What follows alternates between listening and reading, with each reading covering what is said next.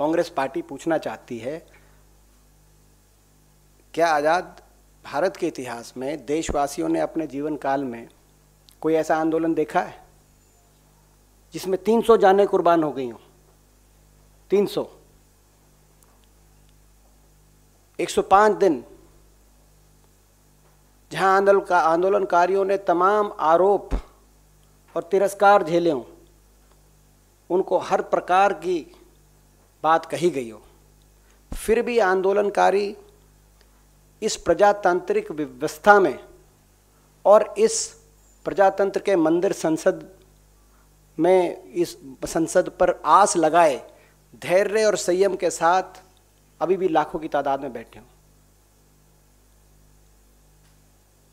कल रात को भी टिकरी बॉर्डर में बारिश हुई, आंधी चली, सारे टेंट उखड़ गए। चौकी, खाने की बनाने वाली चौकियाँ उखड़ गई। महिलाएँ अस्सी अस्सी साल की महिलाएँ।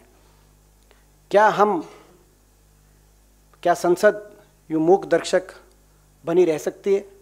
क्या आप लोग मीडिया आप चुप रह सकते जब देश में ये हो रहा हो,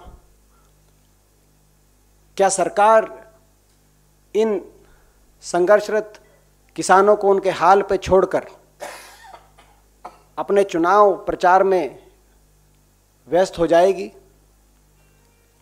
देश में सत्तर परसेंट नागरिक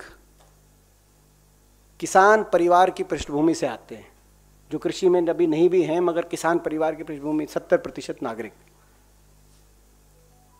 एक बार ज़रा इन संघर्षत किसानों को अपना ही परिवार मान के देखिए।